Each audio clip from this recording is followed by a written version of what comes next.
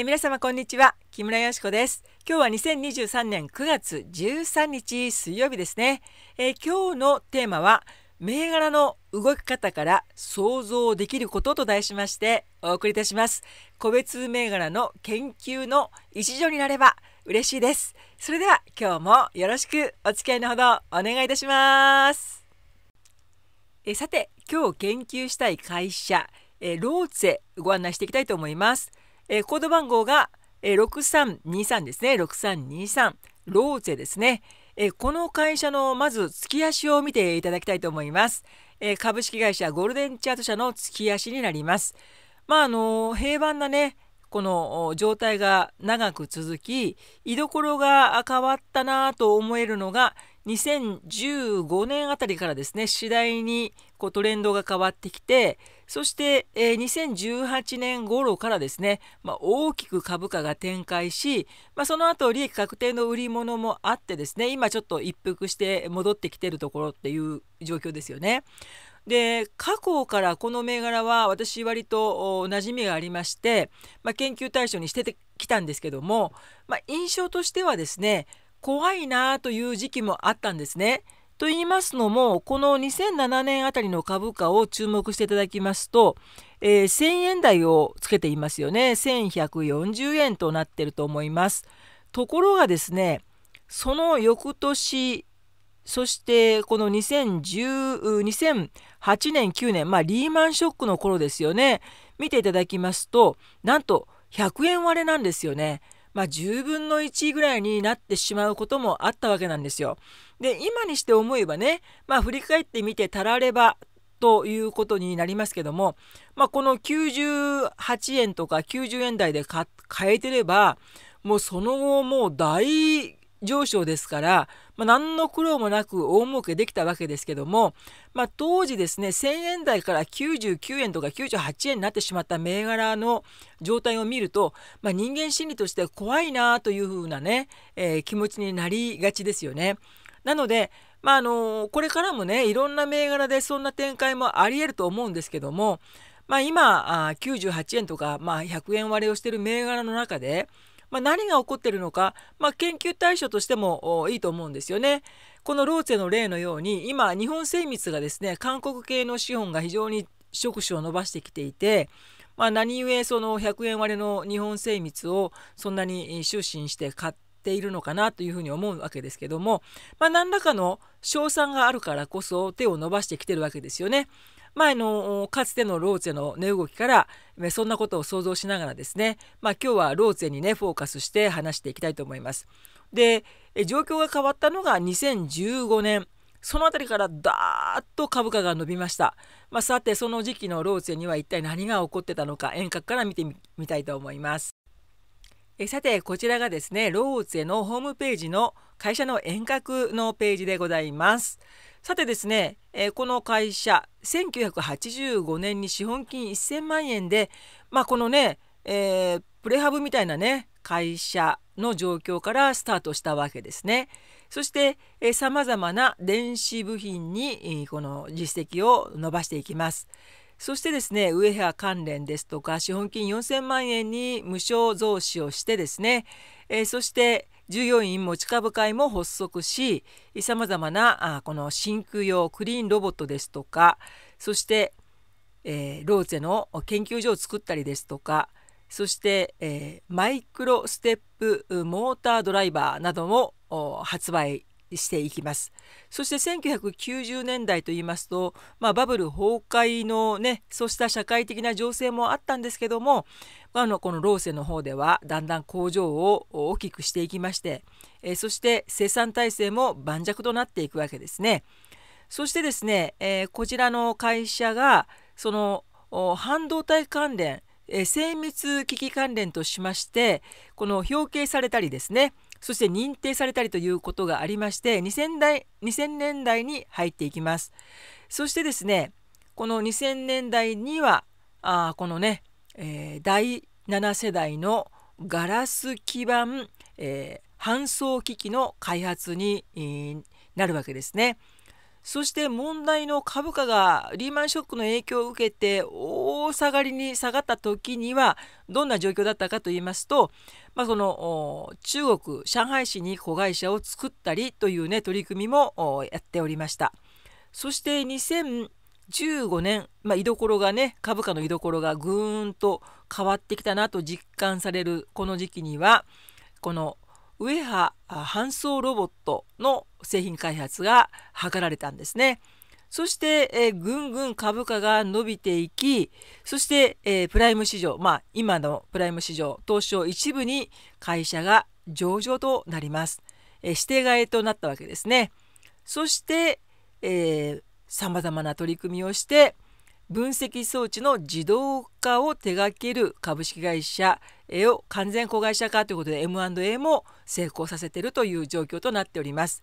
まあ、あの最初はね本当に小さなプレハブ状況からですね、まあ、どんどんこの、えー、政治経済の流れを受けながらも成長してきた足跡が伺えますね。コード番号6323のローゼ本日は1万1130円で180円安となっております。まあ、こちらの会社はですね、半導体や液晶工場に、え導入されるウエハ、そして、えガラス基板の輸送機器をえー、製造している会社ということになりますけれども、まあ、M&A によってですね、えー、検査会社も連結対象となっている状況ですね。こちらですね、まあ、1万1130円っていうのはいかにも高額株というイメージですよね。えー、他の半導体関連企業が次々と分割をして買いやすい値段帯になっていく中ですね、まあ、ローツェも2月8月の決算月2月が本決算となっておりますけれども新 NISA 対応としましてひょっとしたらですね分割の発表もあるかもしれないなと思っています。えー、そして、えー、大株主のメンツを押さえておきたいと思いますけれども、えー、外資が買い増ししている状況ですね。えー、JP モルガン、そしてこちらのオムニバス、そして JP モルガン証券などが買い増し状況をしております。えー、なので、まあ、会社側としてはより個人投資家にも流動性を持たせて買っていただきたく、えー、多分あのこのまんま高額株で推移するよりも、え分割を選択するというね、えー、展開になりやすいと思いますので、え注目して先回り買いもいいんじゃないかなと思っています。株価の展開なんですけれどもチャートを見てみますと、まあ、若干ですね、えー、この上値があの伸びたところと比べますとちょっと山がね落ち着いてきてますよね。半導体だけはですねこれから先の需要というのは読みづらいので、まあ、あのそんなにねあの熱くなって追いかけて買わなくてもいいとは思うんですけども、えー、ひょっとして分割の発表などがあったりするとまた値段もタイトになってくる可能性もありますので、まあ、静かな時を狙って、えー、いずれどこかで分割という選択肢も会社側の NISA 対策としてありえるかもしれないと思って注目していきたいと思います。えー、こちらちょっとね拡大してみたいと思います。まあ長い年月で見るとね高値圏にはあるんですけれどもこの数年にスポットライトを当ててみますとこんな状況ですね。20年からにしますとこんな状況です。えー、どこかで会話が見つかればいいですよね。ローツェ、えー、コード番号6323注目してみたいと思います。えそしてですね、外資が買い増しした銘柄の一角、安川電機ですね、コード番号6506ですね。こちら今日は5725円22円安で引けておりますけれども、PR そして PBR 配当利回り面から見ますと、まあ、そんなにですね割安感もありませんし配当が高額なわけでもないんですよね。でも外資が買い増ししているという点はちょっと注目したいと思います。バンコーブニューヨーク、こちらね、新しい株主として、え登場してきておりますことと、そしてですね、こちら、えー、オムニバス、まあ、中国系のファンドではないかという噂の会社ですよね、えファンドですよね。え、こちらの買い増しも見て取れますね。えー、そうしまして、まあ、その元から外資は名前を連ねているんですけれども、まあ、何故そんなに割安感のない安川電機を買い増しするのかということですね。やっぱり技術力並びにその社名の知名度ですね。そんなところが樹木を引くのであろうと思います。さてこちらの会社のですね業績は若干ですねこの2024年はですねおとなしいものになりそうですねでチャートを見ておきたいと思いますけれども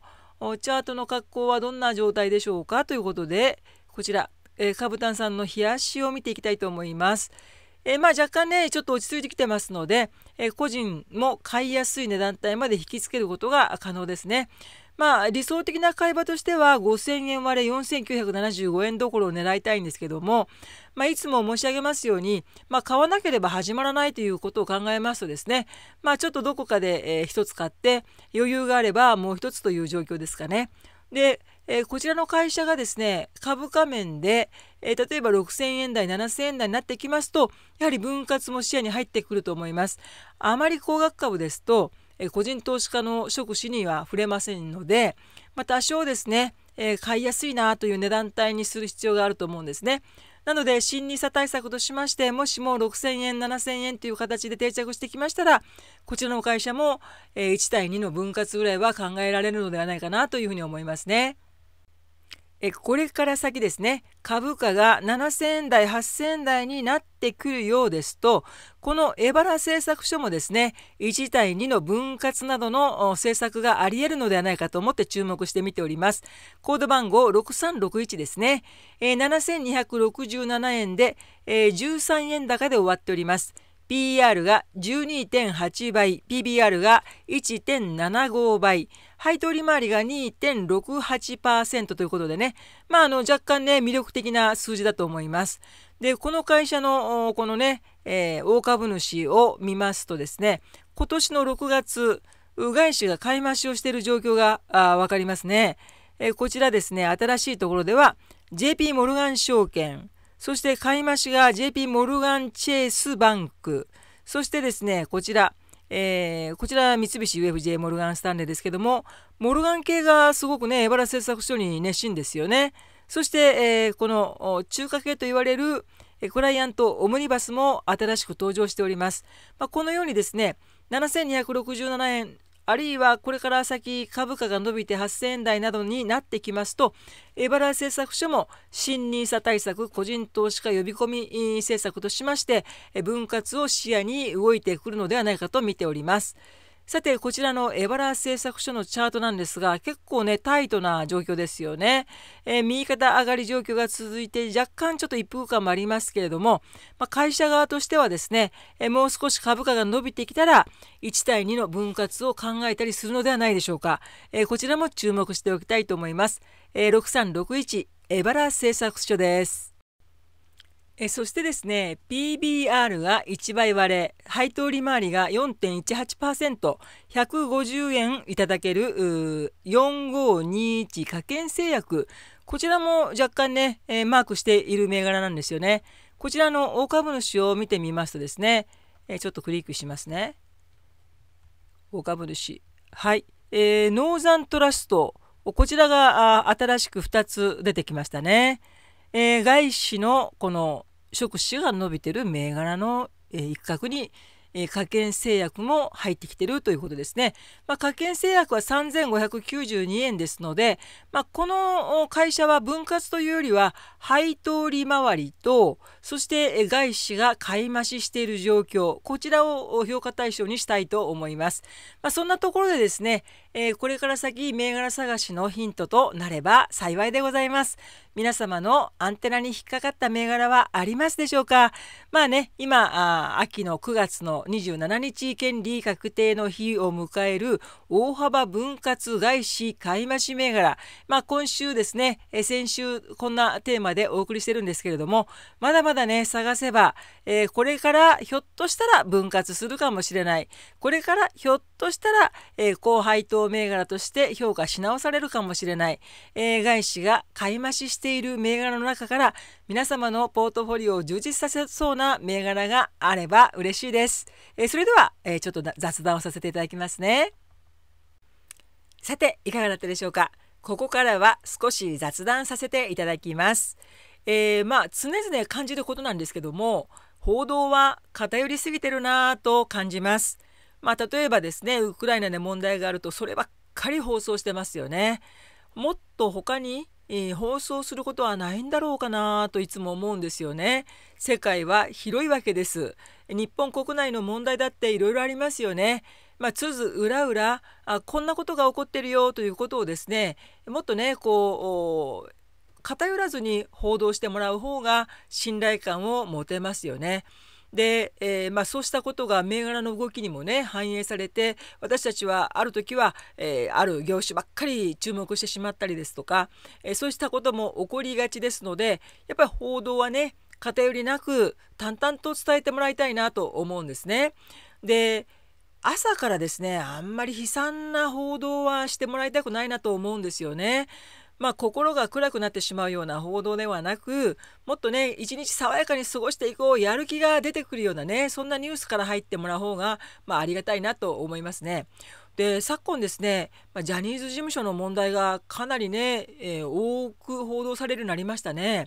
でねしつこいですよね。あの何て言いますか広瀬さんの問題だってもう連日あんな報道することあるの？と。まあ単に芸能人とですね料理人のダブル不倫の話でしょとそんな下世話な話をね朝から晩まで聞きたくないよと思った方もいたんじゃないでしょうか私はもう個人のね大人の話なんだからほっとけばいいのにと思ってましたけどねでね、えー、ジャニーズの問題で昨今ですね、まあ、耳にするのは、まあ、ジャニーさんっていうのは特別な人だったんだと。で、まあ、いわゆるですね日本の、えー、3S 政策の一環を担っていたエージェントなんではないかっていう話もありますね。まあ、それはねまあそうかもしれないなと思いますね。日本は戦後ですね、えー、3S 政策にのっとられてですねまあそのなるべく日本人がその戦争の時のねいろんなロジックに、偏っていかないようにという政策がまかれていたようですね。